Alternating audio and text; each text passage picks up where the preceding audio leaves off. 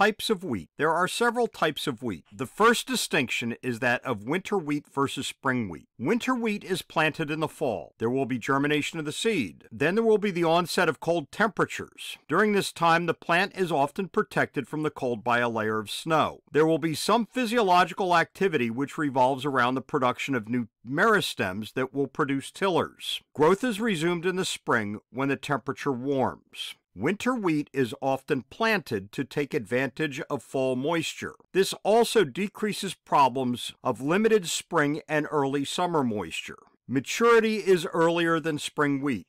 It is less subject to extreme summer heat in southern climates. Spring wheat is planted in the spring and harvested in the late summer to early fall. Spring wheat requires spring and summer moisture. In the U.S., production of spring wheat is in the Dakotas, Minnesota, and parts of Montana. The states with the largest planted area to wheat in 2021 were Kansas, North Dakota, Montana, Texas, and Oklahoma. Another classification is hard wheat versus soft wheat. Hard wheat has better milling char- hard wheat has better milling characteristics. Hard wheat has a high gluten content while soft wheat has a lower gluten content. Gluten is a protein found in wheat, barley, and rye. It allows for a stretchy dough. Think of the old movies where the pizza maker throws the dough into the air to stretch it out only with high gluten content. It allows the dough to be kneaded to produce a nice loaf of bread. Notice the difference between gluten content based on the type of wheat. Gluten being a protein can trigger allergic reactions. Durum wheat has the highest gluten content and is used for pasta. Notice the package says durum wheat. Durum wheat is best for pasta, couscous, and Mediterranean breads. Durum wheat is planted in the spring. Wheat is often grouped into red wheat and white wheat.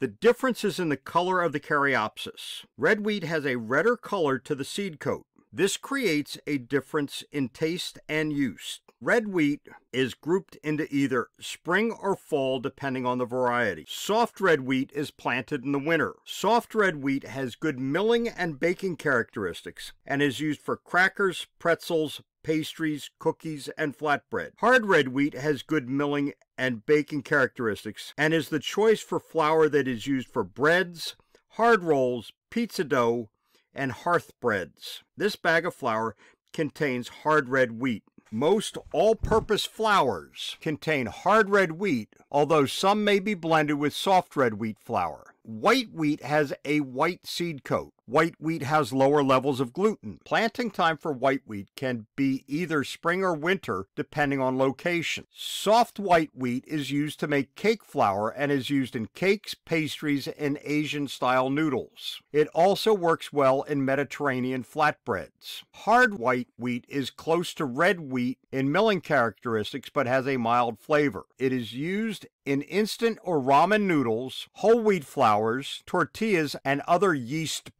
breads. In the southern U.S., soft white wheat is used to make biscuits. The lower levels of gluten allow the biscuit to be softer and flakier. Wheat has been cultivated for over 10,000 years. This has provided for many human adaptations to the different types of wheat that we have.